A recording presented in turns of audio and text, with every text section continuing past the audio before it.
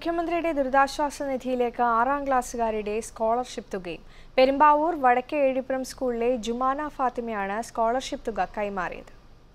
പ്രളയക്കെടുതിയിൽ നിന്നും സംസ്ഥാനത്തെ കരകയറ്റാൻ സഹായിക്കണമെന്ന് മുഖ്യമന്ത്രിയുടെ വാക്കുകൾ കേൾക്കുകയും ചെല്ലുന്നിടത്തെല്ലാം ഇത് എഴുതി വച്ചിരിക്കുന്നത് കാണുകയും ചെയ്യുമ്പോഴെല്ലാം തനിക്കാവുന്നത് ചെയ്യണമെന്ന് ജുമാന ആഗ്രഹിച്ചിരുന്നു. അങ്ങനെ ഇരിക്കുമ്പോഴാണ് സ്കോളർഷിപ്പ് തുക എത്തിയ വിവരം അറിഞ്ഞത്. ഇങ്ങനെ കൊടുത്തോട്ടെ എന്ന് വെച്ചപ്പോൾ വാപ്പി പറഞ്ഞു നിന്റെ ഇഷ്ടം പോലെ ചെയ്തോ.